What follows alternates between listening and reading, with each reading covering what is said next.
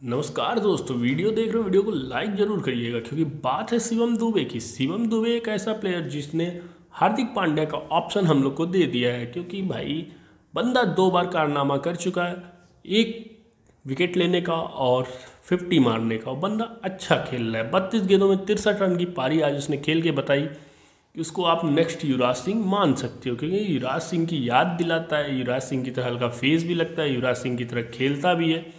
अच्छा खेलता है गेम। और उसके गेम को देख के मज़ा भी आता है दोस्तों। और आप लोग का क्या कहना है शिवम दुबे के बारे में, आप लोग कमेंट में ज़रूर बताइएगा। क्योंकि मैं वहाँ जहाँ तक मानता हूँ कि शिवम दुबे एक बेटर प्लेयर है और सभी प्लेयरों की अपेक्षा। क्योंकि एक ऑलराउंडर की तरह खेलता है ऑलराउंडर की तरह गेम दिखाता है और खेलने में बहुत ही आगे है और अव्वल दर्जे का प्लेयर लग रहा है मुझे। क्योंकि लगातार कोई ऐसा काम कैसे कर सकता है?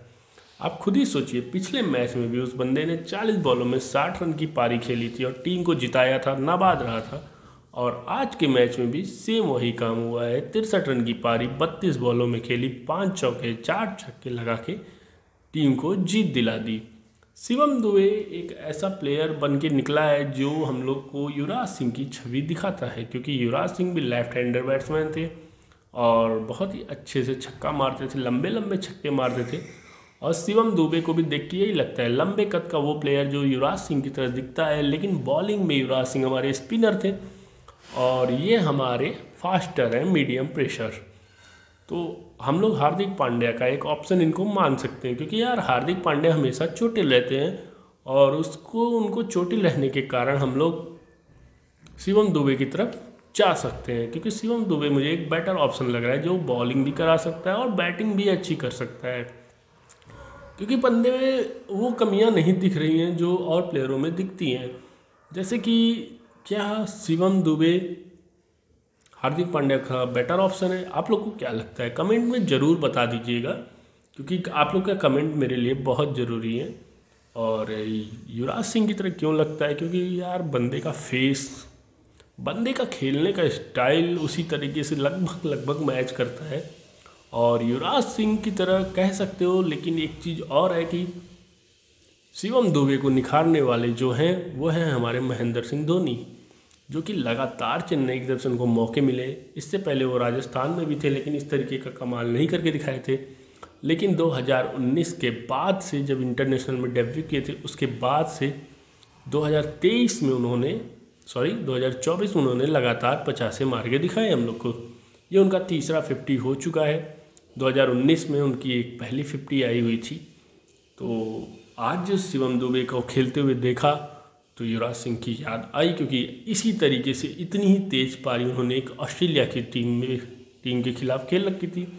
खैर, शिवम दुबे को दो मौके मिले और उन्होंने दोनों मौके बहुत ही अच्छे से भुना दिए।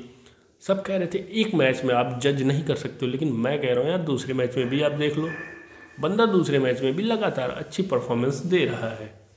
उसको आप क्विट नहीं कर सकते हो क्विट नहीं करना भी चाहिए, क्योंकि उसको लगातार मौके दीजिए। तिलक वर्मा भी आज बाहर बैठे हुए थे। मुझे ये देख के बहुत ही अच्छा लगा, क्योंकि यार तिलक वर्मा की जगह आप शिवम दुबे को मौका दो। लेफ़्ट हैंडेड भी है, बढ़िया भी खेलता है अच्छा है।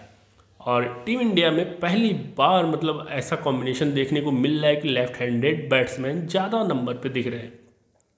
पहले पे आप यशस्वी को ले लीजिए, दूसरे पे आप विराट कोहली के बाद आते हैं, अगर शिवम दुबे आ जाते हैं तो उनको देख लीजिए, तिलक वर्मा को देख लीजिए, ऑप्शनल है, और नीचे रिंकू सिंह को देख लीजिए। फिर अगर कुलदीप यादव को अगर बैटिंग करना थोड़ा बहुत सिखा देते हैं तो कुलदीप यादव भी एक बैट्समैन हमारे पास लेफ़्ट हैंडेड रहेंगे, रविंद्र जडेजा भी एक बैट्समैन लेफ़्ट हैंडेड रहेंगे, जो कि बहुत ही अच्छा लग रहा है यार, पहली बार टीम इंडिया में इतने सारे लेफ़्ट हैंडेड देख के। क्योंकि मुझे जहाँ तक याद है कि अधिकतर हम लोग टीम इंडिया में राइट हैंडेड बैट्समैन ही देखते थे। एक दो एक दो का ही ऑप्शन रहता था अधिकतर लेफ़्ट हैंडेड वालों का। लेकिन पहली बार ऐसा कॉम्बिनेशन देखने को मिल रहा है। कमेंट में आप लोग ज़रूर बताइएगा कि आप लोग को वीडियो कैसा लगा और क्या आप लोग को शिवम दुबे की पारी अच्छी लगी? क्या उन्होंने ये कारनामा दूसरी बार करके विराट कोहली का बराबरी कर लिया है?